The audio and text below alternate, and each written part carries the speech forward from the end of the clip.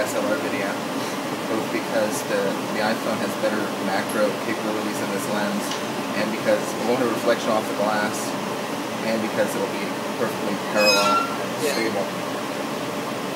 Except that the head is in the way. Well, that's part of it. Shows the process. Okay.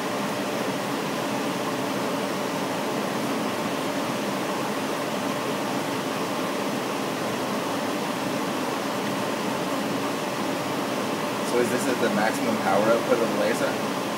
No. Um, I took it down to like 40% power and 70% speed. So Does it lose accuracy if you run it at a higher speed? Um, it doesn't use lose accuracy. What it is is um, What's the combination for exposure? Okay, If you move more slowly at a lower power level, it's really hard to say.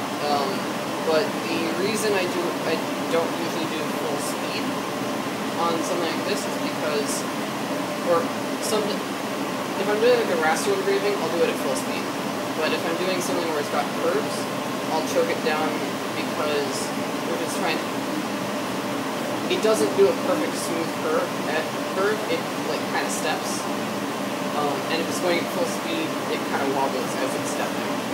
And so I'll choke it down. I'll choke down the speed a bit so that it goes smoother.